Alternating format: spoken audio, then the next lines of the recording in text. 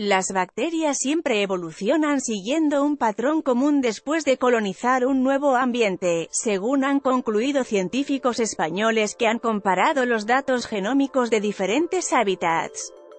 Las bacterias son los primeros seres vivos que colonizan y generan nuevos ecosistemas como los resultantes de una erupción volcánica, el retroceso de los glaciares o el intestino de un bebé, según explicó Rudiger Ortiz, investigador del Español Centro de Estudios Avanzados de Blanes, CABCSIC, y primer autor del estudio. Las bacterias son la base de todo ecosistema, están presentes en todo el planeta y sobreviven en cualquier ambiente, e incluso hay hábitats en los que solo pueden vivir ellas.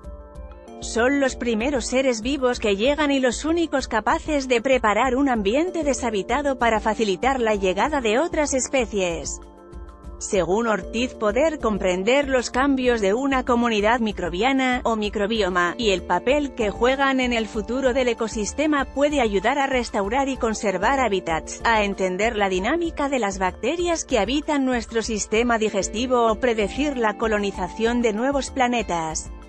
Esta comprensión es lo que ha estudiado el equipo de microbiólogos del CABCSIC, el primero que lo hace de forma cuantitativa y comparando una gran diversidad de hábitats y microbiomas, a través de la secuenciación masiva del ADN